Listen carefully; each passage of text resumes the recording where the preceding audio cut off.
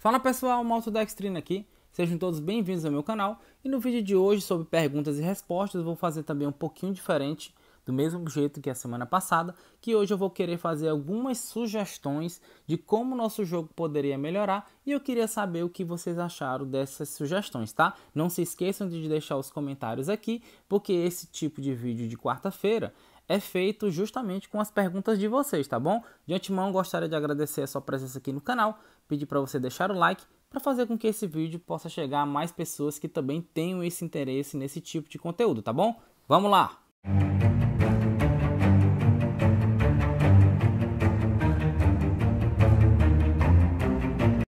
Dando continuidade aqui ao nosso vídeo, a primeira pergunta quem me deixou foi o José Wibson, Desde já um salve aí para o meu amigo José Wilson, muito obrigado pela sua participação.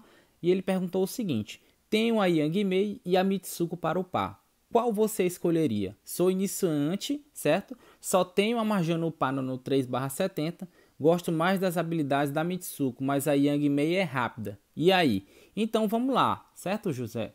Vamos aqui observar como seria elas duas comparadas, ok? e ambas emblemadas no nível 20, sendo que ambas estão seguindo o caminho do ataque, ok? Como você mesmo disse, elas têm habilidades diferentes, ok? Desde de início logo um é feiticeira, certo? Que no caso a feiticeiro, o que que acontece? feiticeiro, ele tem a capacidade de ganhar mais mana, não é isso? Então ele pode ativar mais rápido, certo? E o monge, ele é resistente a males de status, ok?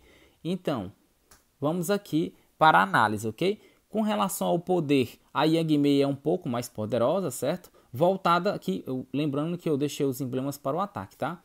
É, o ataque da Yang Mei ficou superior ao da Mitsuko, a defesa também, só que a vida da Mitsuko foi bem maior, certo? Com comparação com algumas estatísticas aqui, que essas estatísticas são dadas pelo, pelo Epeto Box, certo?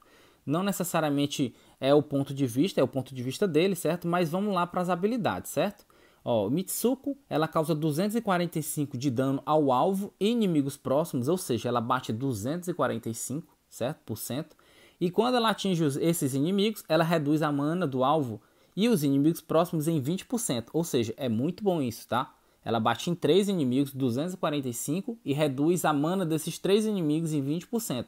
Isso é muito bom.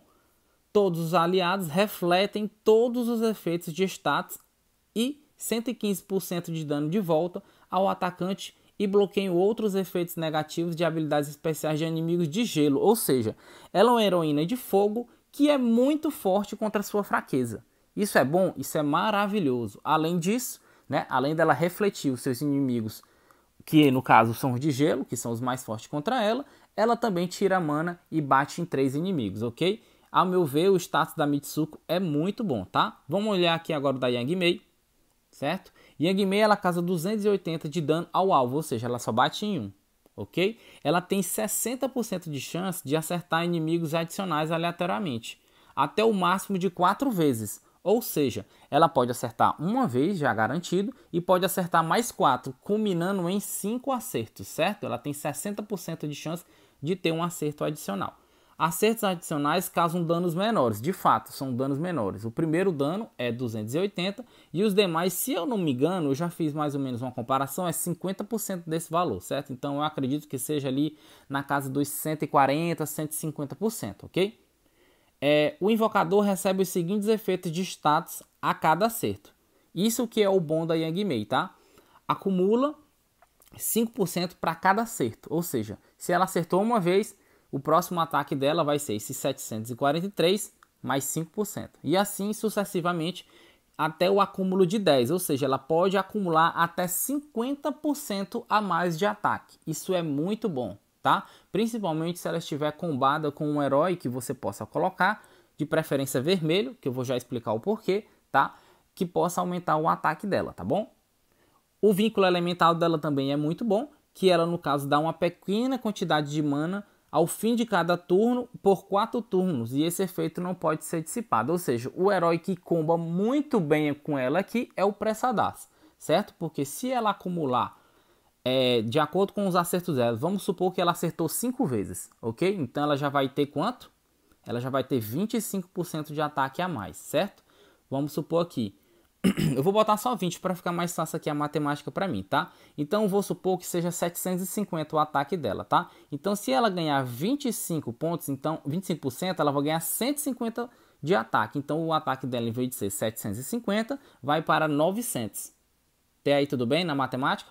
Então vamos lá. O o pré-saudades, ele tem a habilidade de aumentar em 48%, se eu não me engano, o ataque do seu aliado certo? Então, quando o pré-saudades ativar, a Yang Mei, olha o tamanho do percentual de ataque dela, vai ficar gigantesco. Agora você só vai ter que contar um pouquinho com a sorte. Por quê? Porque a Yang Mei é garantida acertar um, certo? Então ela tem 60% de acertar mais. Se por um acaso ela acertar mais inimigos, aí sim, aí ela fica muito boa. De verdade, ela fica muito acima da média.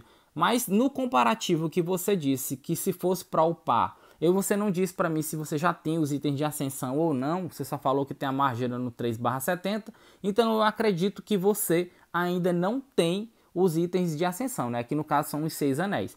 Então, se fosse para eu escolher pensando na defesa, certo? Pensando na defesa, eu iria de Mitsuko. Por quê? Por mais que ela seja uma heroína média, certo? Mas só que essa habilidade especial dela, dela se defender contra a sua fraqueza, e sendo que essa habilidade ela também dá para os seus demais aliados, é muito bom.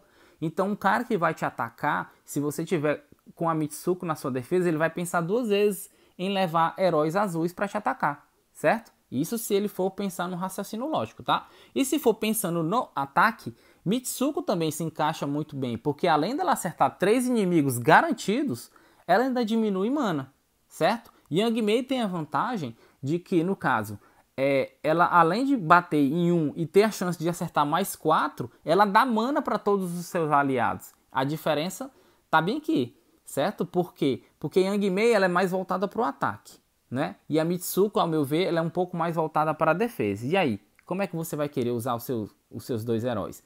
Ao meu ver, se você conseguir se organizar, você consegue sim upar as duas, certo? Porque as duas combinadas junto com a tua Marjana, olha só o tamanho do ataque que vai ser o teu time vermelho. A Marjana é uma heroína rápida que causa um dano muito forte e ainda causa queimadura. A Mitsuko é uma heroína média, certo? Que causa dano em até 3 inimigos de maneira igual, diminui a mana e ainda te protege contra gelo. E a Yang Mei é aquela heroína coringa que você pode acertar de 1 até 5 vezes e ainda vai ganhar uma quantidade pequena de mana a cada turno durante 4 turnos. Ou seja, esses três heróis seus que você tem vermelhos são excelentes e eles três juntos são muito bem combinados, ok? Só uma pequena correção com relação à, explicação para você, José.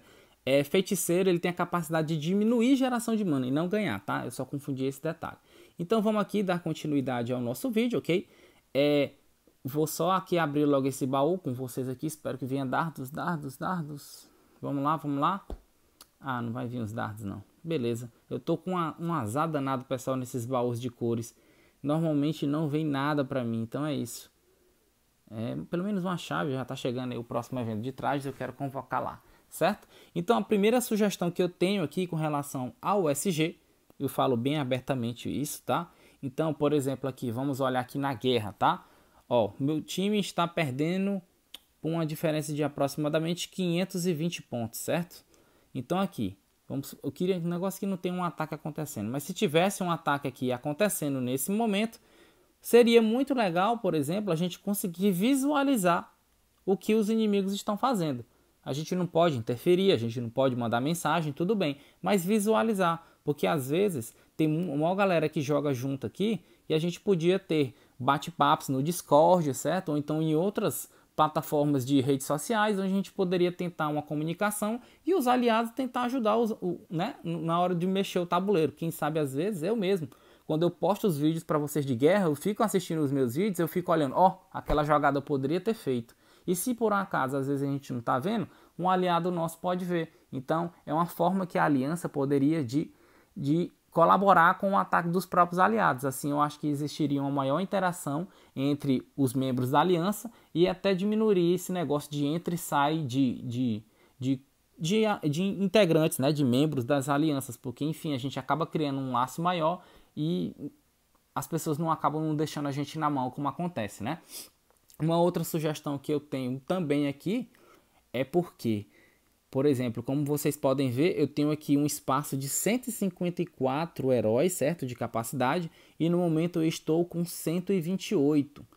Mas só que por que, Malto, que tu não tem mais heróis? Tu consegue às vezes convocar tantos heróis bons, como vocês viram no meu vídeo de segunda-feira, tá? Quem quiser dar uma olhadinha, vale a pena, o vídeo foi muito bom. É, por que, que eu não consigo segurar mais heróis do que isso? Porque realmente o espaço é muito pequeno né? Então, eu já estou numa situação onde aqui, pessoal, eu tenho que comprar espaço, ok? Deixa eu ver aqui, onde é? Você encontra aqui. Tá aqui, ó. Capacidade de aumentar o número de heróis. Eu tenho que gastar 150 para eu ganhar só 5. 5 de capacidade. Isso aqui poderia ter um custo um pouco menor, né? Até porque quanto mais heróis eu conseguir upar, eu acredito que seja melhor. Eu vou ficar mais empolgado se eu tenho mais espaços para upar os meus heróis. Ah, mas não tá vindo herói, é só nas convocações. Tudo bem, realmente as convocações acabam deixando um pouco a desejar.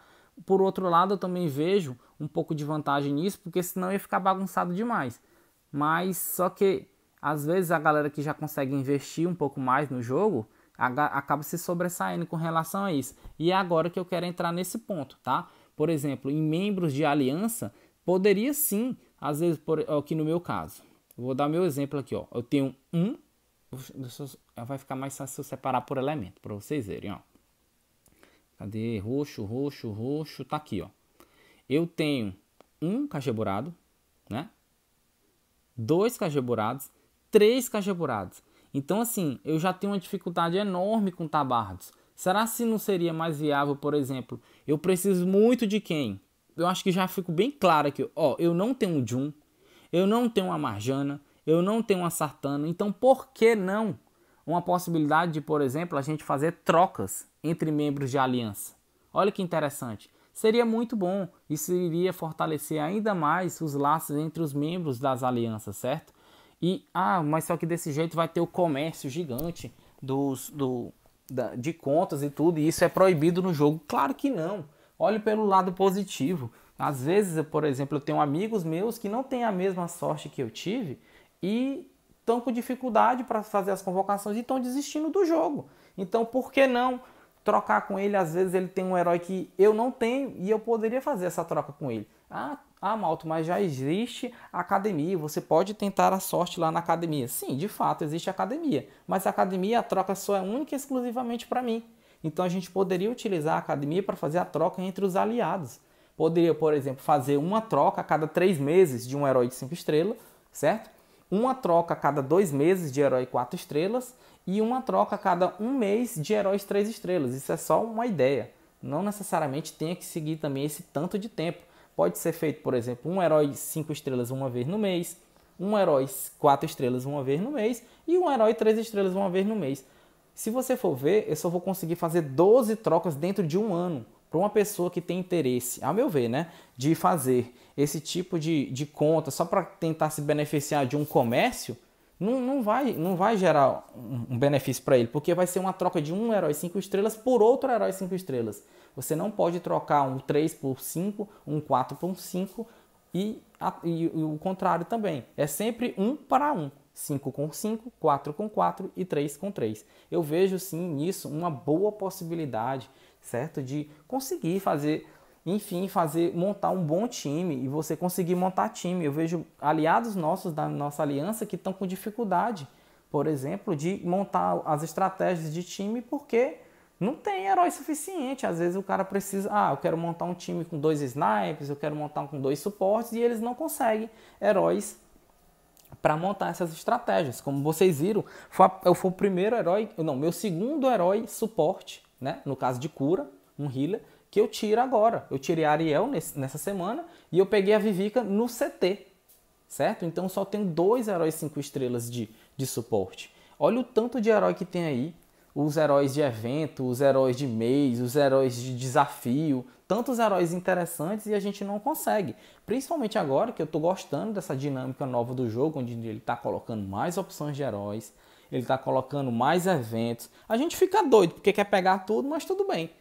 Mas só que eu vejo com bons olhos sim essa possibilidade de trocas, porque às vezes essa possibilidade que como eu estou agora de heróis repetidos, fica muito ruim para mim, certo? Eu tenho outras prioridades. No meu caso aqui no time roxo, eu vou querer upar quem o próximo? Eu estou pensando em upar a Lepiota, porque é uma heroína altamente estratégica, certo? Pensando em usar contra aqueles heróis chatos, são aqueles heróis que são tanques, aqueles heróis que, que fazem minion. E às vezes eu tenho aqui a Lepiota, eu posso utilizar ela e deixar o cara lá no fantasminha pegando dano durante quatro turnos. E aí eu consigo jogar pedras no vento. Ou seja, Lepiota é uma heroína altamente estratégica. E hoje em dia quem não joga pensando em, em, em estratégia no, no, no, Empires vai ficar afadada só ficar mexendo pedra vai chegar uma hora que vai cansar de apanhar, vai cansar de perder e vai desistir. Então hoje em dia eu vejo que a SG já está pensando nisso. Ela está é, oferecendo heróis diferentes pensando na estratégia e não só no dano. Hoje em dia o meu time, por exemplo, vou mostrar aqui para vocês a minha defesa. Nesse momento a minha defesa é essa, mas por quê? É porque eu ainda não tenho os heróis que eu gostaria de ter nessa defesa, tá? Ó, por exemplo, um herói que eu queria colocar era o Odin aqui, no lugar do Drake Fong. Por quê? Porque o Odin, dependendo da condição de tabuleiro do inimigo, o meu ataque pode ser mais forte, certo? Por que, que eu tenho o Yang Mi aqui e não tenho uma outra heroína? Por exemplo, Mitsuko seria interessante na defesa, muito interessante na defesa. Por quê? Porque ela ia me defender principalmente contra um central, ou quer dizer, no caso, um ataque de azul. O meu ataque é azul, então o central dele vai vir vermelho, ou no caso, provavelmente ele venha a me atacar com, com heróis mais verdes, então eu vou usar Mitsuko para me defender disso. Ou então eu posso inverter aqui o papel, né, botar Mitsuko de central, não é isso? Pensar em colocar ela mais voltada para a defesa, porque ela já tem uma vida muito boa e uma defesa alta. O único pecado dela justamente é o ataque, mas só que o devido ela ser uma heroína média, eu com uma tropa de, de mana ali mais elevada, eu consigo transformar ela em rápida e consigo ter todos os efeitos dela, como eu acabei de falar an anteriormente no, no, pequena explicação que eu fiz para a pergunta do nosso inscrito, certo? Então, tem boas possibilidades que a gente pode fazer aqui, muita coisa mesmo. E outra coisa também, é uma forma de você conseguir é, mais itens de ascensão, porque realmente está difícil, viu?